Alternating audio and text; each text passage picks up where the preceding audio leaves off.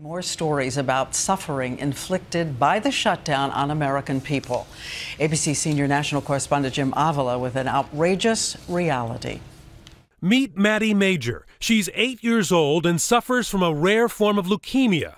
Her battle for life threatened each day by the lingering shutdown. It's the most devastating thing in the world to know that there could potentially be a cure for her, but because of a stalemate in the government, we can't research those options. It's mind blowing. Maddie and nearly 400 of the sickest Americans can't get cutting edge experimental care at the National Institutes of Health because the government shutdown prevents NIH from accepting new patients. I know that this has already dramatically complicated the process of finding cures, and each day it goes on makes the problem much worse. Maddie's mom has a message for Congress. Spend a day with a family like me and see if you still think that your agenda is appropriate for what we are dealing with.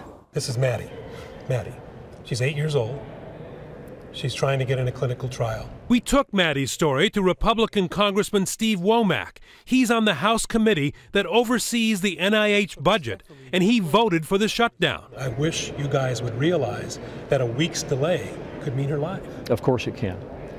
Well, everything that happens in Washington is a process. A process that is now dragged into shutdown day 11, with hundreds of thousands of government workers still furloughed. Social Security workers in Houston today are seeing nearly half of their pay cut. But they did get this letter from their boss asking creditors to be nice. I would appreciate any assistance in the postponement, temporary reduction, or rescheduling of payments. In Florida, a federal campground padlocked today. The all American dream, you know?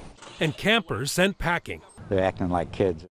As week two of the shutdown ends, its effects grow deeper and more widespread, from sick kids to closed parks and furloughed workers.